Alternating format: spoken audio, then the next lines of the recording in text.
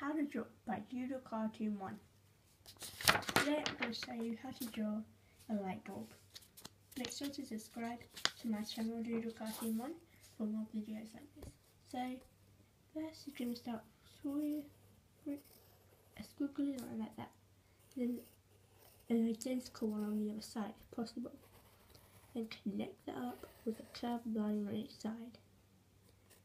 And then draw a little rectangle, no, a circular rectangle at the bottom of that. And then from each side, draw curved lines like that to show that it's twisted. Now draw a little rectangle at the top and colour it in. And then draw a big circle around that. Just like that. And once you've done that, draw three squiggly lines again, like that. Up there, like that and then three lines at the top to show that it's that it's on that that it's light. And that is how you draw a cartoon light bulb. Thanks for watching. Please subscribe and like to my channel Doodle Cartoon 1 for more videos. Bye.